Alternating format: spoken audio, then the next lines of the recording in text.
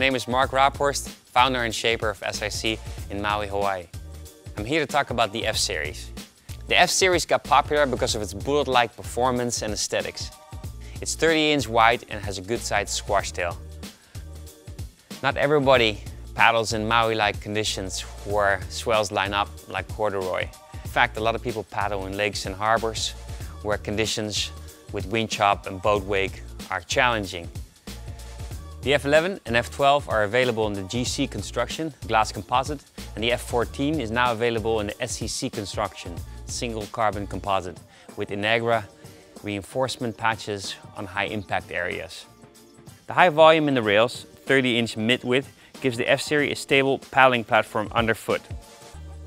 The decking of the board features a light contoured shape for increased control, which also minimizes foot cramping and encourages water drainage. The wider chisel tail offers more stability than the Bullet. However, it's still pinned out enough that when you step back towards the back of the board, you can sink the tail, which raises the nose of the board and keeps the board from poking, especially in downwind conditions. The F-Series incorporates similar design benefits of the Bullet series, like a flat bottom, planing hull for smooth and stable gliding performance. The rocker line is based on the proven Bullet V2 rocker, which means it balances and planes early and has a smooth glide. While the F-Series handles 20 knots downwind easily, it excels in sub 20 knot conditions.